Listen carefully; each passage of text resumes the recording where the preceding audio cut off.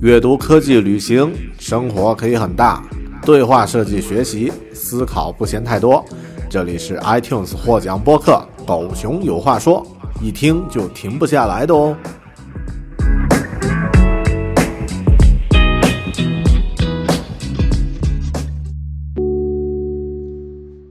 Hello，你好，欢迎收听独立知识型脱口秀《狗熊有话说》Bear Talk，我是大狗熊。四月份呢是我的生日月，现在到了五月呢，啊，我也正式的跨入了四十一岁的门槛啊。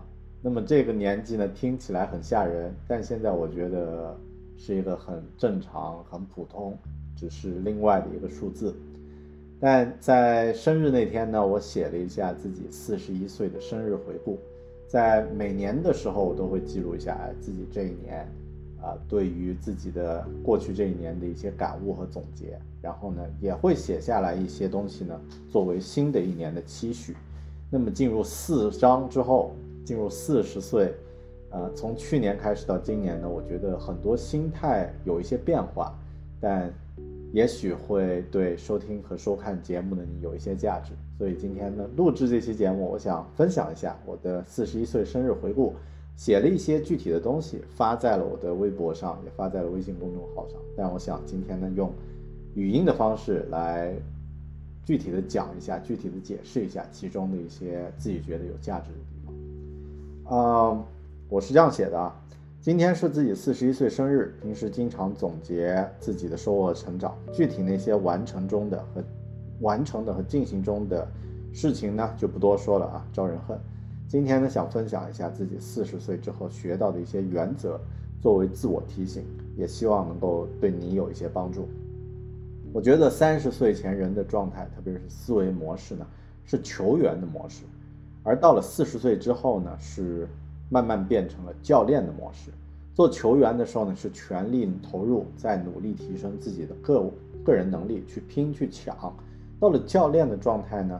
是已经意识到了世界的无序和复杂性，那么需要有自己的模式去处理和面对，啊，用有限的资源去创造更高的价值。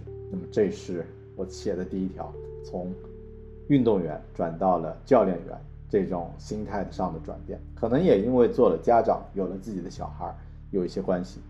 第二条，人生是过山车式的体验，情绪状态、创造力、体力。都会有高有低，认识到这一点，并且接受它。就这一点，以前我没有这个意识。以前呢，会把情绪和人的状态陷入一种很默认的一个状态，就是状态好了，我就很开很开心很高兴，然后去去进行的去觉得它也是理所应当的。状态不好的时候，你就悲伤难过，而且呢怀疑自己，然后呢觉得自己是不是做错了什么问题。其实这个认知有一个差别，就是为什么状态好就是理所应当的，状态不好就是自己做错了。其实两个状态都是理所应当的。它就像坐过山车，如果你没有前面的那段慢慢的爬的这个状态，就不会有后面突然一下子跌落的这个状态。所以人生是过山车式的体验，要同时接受在波波谷，也要能够接受坦然的接受在波峰的这个状态。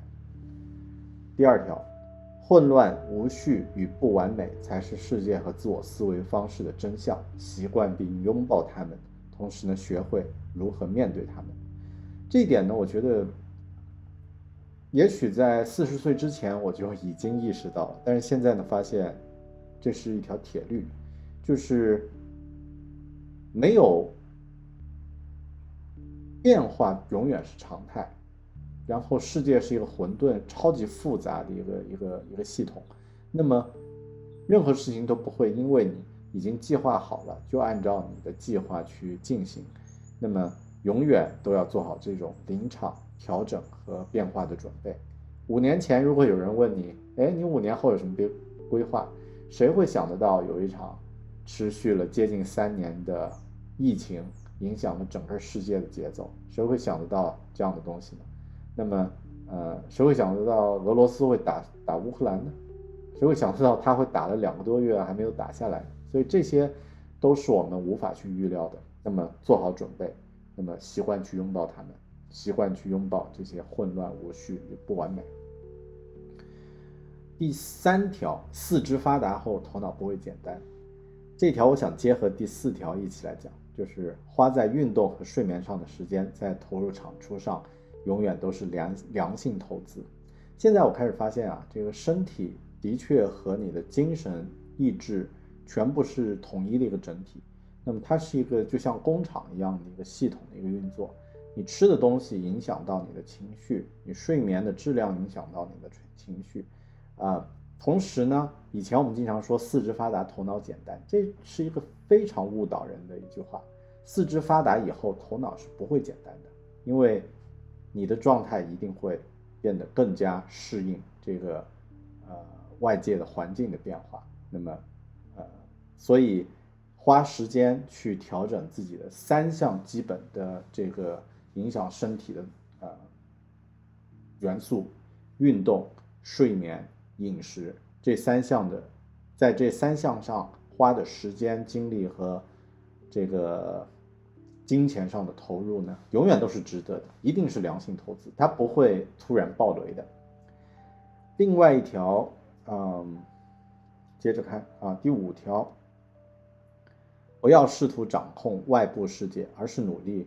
观察和掌控自己的内心和行为，发现了这一点，我才意识到自己原来是一个斯多格主义者。这条有一个有一个新名词叫 Stoic 啊，斯多格主义者是什么呢？它是古希腊的一个学派。呃，关键的一点就是这句话，就是不要去掌控外部世界，不要去觉得，哎，别人怎么做，我要去影响你的行为，我要去控制你，我要去这个呃。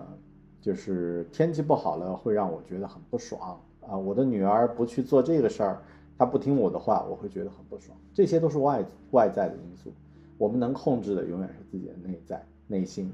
那么我会一直提醒自己去关注自己能控制的领域。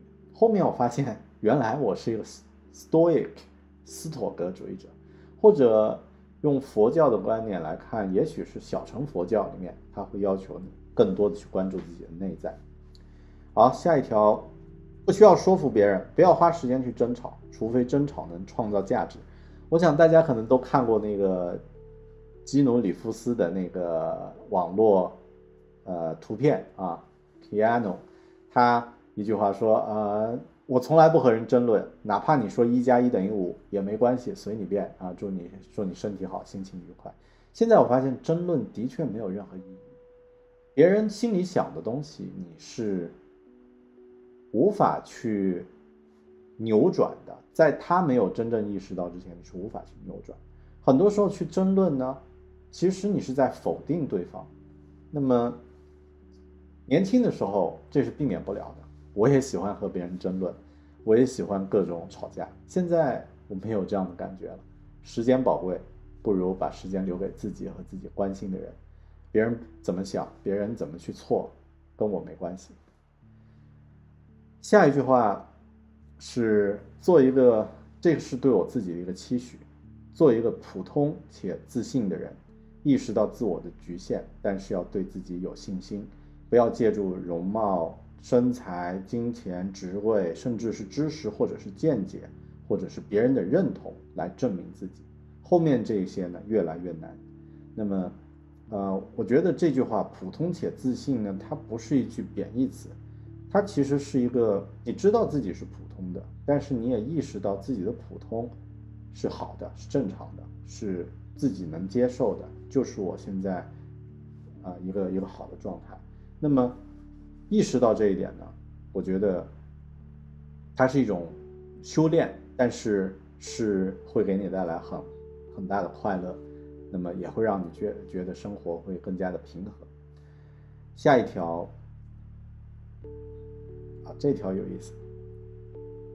做一个狂放却深刻的人，知道自己的本真，并不刻意去伪装成另一种自己不是的人。不要去设计自己的人设，但是要设计自己的人生。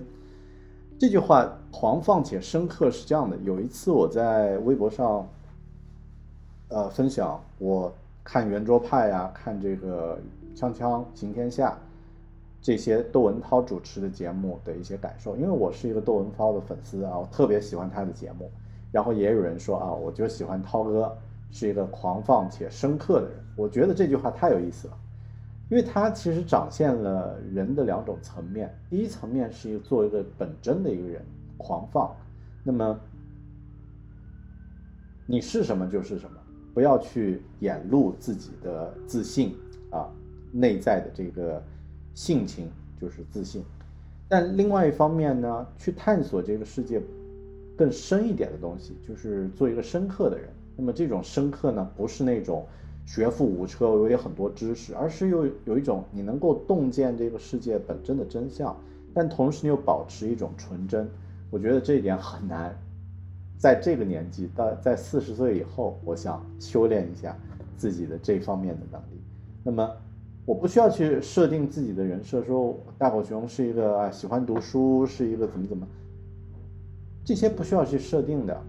比如说，我真的喜欢在读书中放松，去满足自己的好奇心，这已经就是我本身的这个本真。我不需要去设定我自己的这个知识博主，或者是啊什么样的一个人设。那么，就像现在在和。大家聊这个话题一样，也是我觉得很有意思，想和你探讨的一个话题。OK，那么这就是啊我在四十一岁生日写下来的这些心得和感受。在听节目的你，肯定大部分的朋友应该会比我年轻啊。那么不知道这些感受和体会能不能对你有一些启发，或者是也许能够有一些帮助，希望能够有。那么更多的感受和体会，大家可以啊在你收听节目的平台给我留言。那么如果方便的话呢，可以关注一下我的博客 blog 点儿 BearTalking 点 com，或者呢去关注一下我的 YouTube 频道，搜索 bear talking 就可以找到。OK，这就是这一期狗熊有话说播客节目啊，还可以关注我的播客啊。Sorry，忘了这个最重要的平台了，呃，那么有更多感受和体会，希望分享，希望能够看到你的分享。我们下期节目再见。